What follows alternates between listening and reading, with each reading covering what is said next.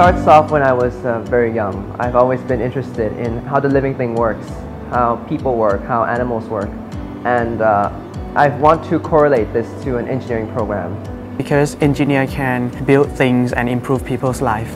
Engineering is all about innovation. It's all about who's gonna be the first one to do something. I really like knowing how we get the answer. It's not just one problem and you get one answer, but it's something that get every answer to every input that is valid. You can release your idea and you make it real by your two hands.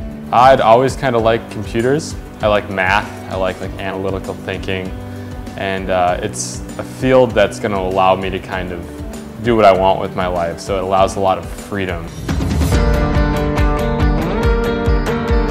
We try to give the students the opportunity to think on their own.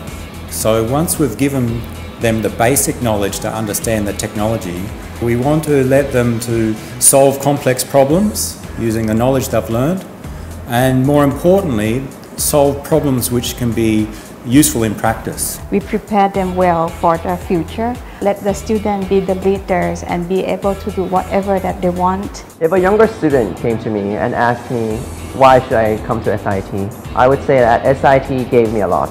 It changed me to be a better person. It has great facilities, great teachers, and great people. And I feel that I became a great person just from studying here, and you should too. SIIT does not just give me the knowledge.